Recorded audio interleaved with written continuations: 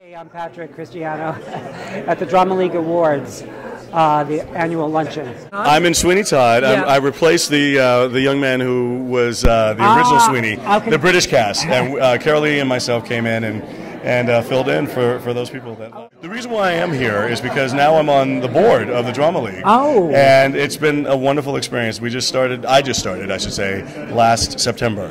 And it- it's been fun getting to know all the different programs that they offer and the support that the Drama League uh, has been doing for so many years, and actually celebrating 100 years now.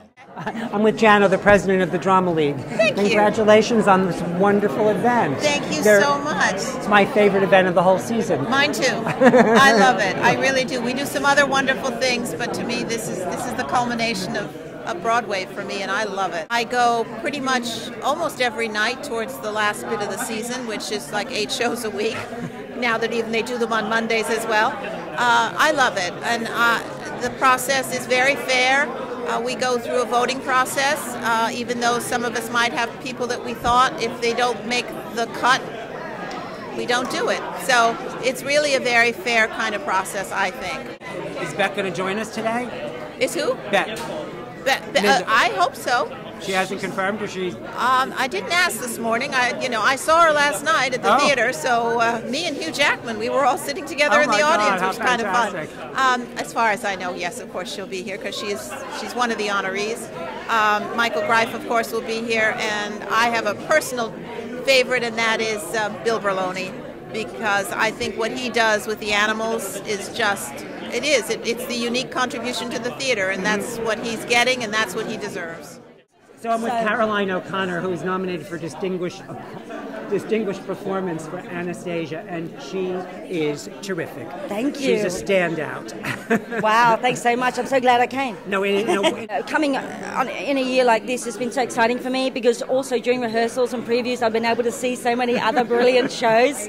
It's inspiring. You know, I, I live in England and I live in Australia and I work and live here too, so I get the best of, of everywhere and this year's been thrilling on Broadway. well, you are terrific. Uh, Thank the, you. The cast is wonderful. Oh my goodness, yeah. And we're so happy. it's so nice to be in a show where the cast is really, really happy. This uh, show has a lot of depth to it, and I think Terrence is, the, you know, he's the master of being able to combine those things, and and so yes, um, we've all been very moved by it. You know, I think the audience is as much fun as they're having. They're also very moved by the story. So and it's also visually stunning at the same time. it really is, and, and like you say, the cast. I just think it's beautifully cast. You know, it really is, and um, I get to work with John Bolton every night, which is so much fun and hilarious, of course.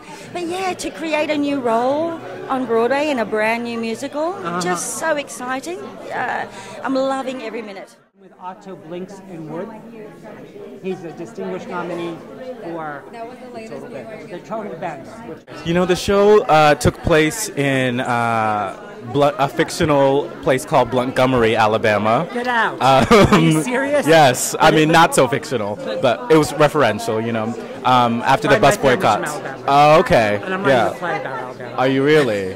cool. Um, yeah, this took place during the, the bus boycotts right after that. And it's about a father son songwriting. Uh, 1960. 65? I want to say 65. year. Um, right? So right after the bus boycotts, I want to say 65. Could be wrong. Don't quote me. Or do. Um, but uh, it, it was a father son songwriting duo, and it's sort of about the struggle of the son to step into the spotlight, and the father is trying to keep him sort of in the in the shadows. It's about the son stepping in the spotlight and what the spotlight does and what ego does and Laura Osnes, who's nominated for Distinguished Performance for Bandstand, Bandstand, yes. which we saw. You're terrific. You oh, are gorgeous. Thank you. Wow. I think this is one of the most, if not the most, fulfilling role and show that I've really gotten to be a part of. I've I did the first reading of Bandstand three and a half years ago, Oh, so wow. I've been cultivating this baby for a long time, and to see it now through to Broadway and getting to perform it every night, a brand new original role in a brand new original musical that's not based on a book or movie or anything.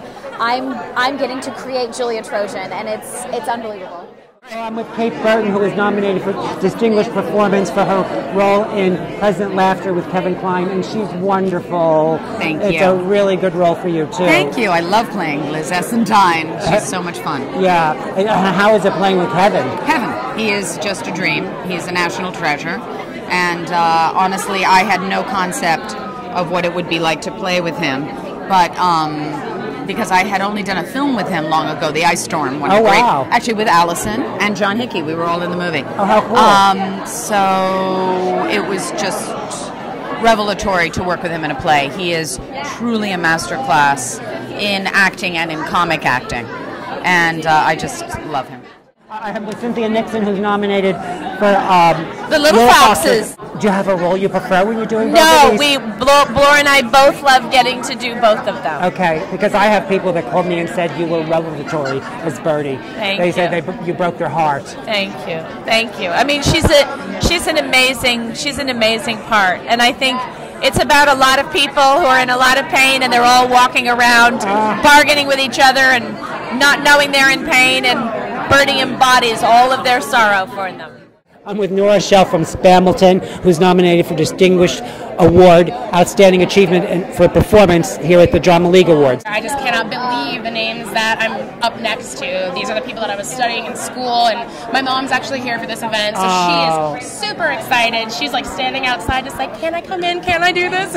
Is this your first Drama League nomination? yes, yeah. I graduated from the University of Michigan a year ago, so I'm 22. So this is my first year in New York. So to get Oh a nomination for my first role is absurd. From Bill Berloni, unique contribution to the theater. Congratulations on your honor. So, uh, getting down on the dog had nothing to do with it. No, I'm playing. but you know, I all the dogs I've trained for the last 40 years have been rescue dogs, and Oh, when wow. I can get people in the business, animals of their own, um, it's just a, a wonderful sideline to be able to do. Uh, currently, uh, my family and I own 31 dogs, all performers, retired performers, unemployed performers, um, and we have a staff, and we live up in Central Connecticut, and it's a great life.